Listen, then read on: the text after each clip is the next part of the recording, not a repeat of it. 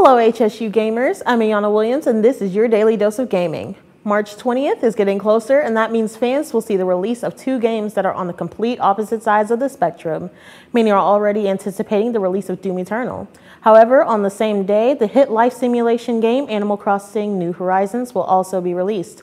Much like Doom Eternal, Animal Crossing New Horizons was also delayed. This delay was announced by Nintendo at E3 last year. After having to wait a while, Animal Crossing fans are now looking forward to seeing what the game has in store. As far as some of the new features of the game, Animal Crossing New Horizons has brought decoration and customization to a whole new level. Furniture can now be brought outside on all terrains, and the whole island itself can be customized with the new landscaping features. Players will get to see this and much more from Animal Crossing New Horizons on March 20th, which is just around the corner. This has been your daily dose of gaming with Ayana Williams.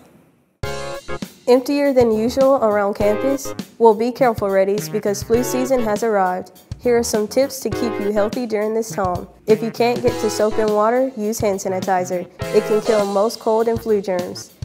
Avoid close contact with people that are already sick. Don't forget your flu shot, which are free at the Clark County Health Department.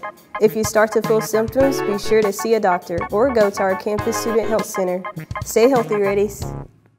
Hey Reddies, Caitlin here. We've got so many great sororities and fraternities here on campus. Today I'll be talking specifically about Alpha Sigma Alpha.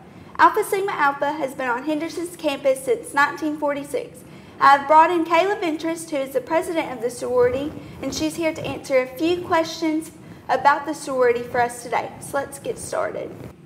So, what actually is your mission statement? Um, Alpha Sigma Alpha is a women's organization that promotes high ideals and standards for its members throughout their lives by focusing on our four aims in physical, intellectual, um, social and spiritual development. Alpha Sigma Alpha provides opportunities for its members through sisterhood, heritage, and leadership and service. Okay. And then how and why did you decide to join the sisterhood? Um, I joined the sisterhood because I wanted to be in something that was bigger than myself. I knew I really wanted a leadership position and it would look really good on a resume. So Okay, and does Alpha Sigma Alpha have any upcoming events that we might would like to attend? Yes, um, March 17th, Alpha Sigma Alpha and the National Panhellenic Council will be hosting um, self-defense class. Uh, and all the other three sororities on campus will also be in attendance. And then we also have on April 12th, I believe, we'll be doing handbag bingo. It is $25 for a ticket, and it's going to be a great time, so we'd love for everybody to come out and it's going to be in support for Special Olympics.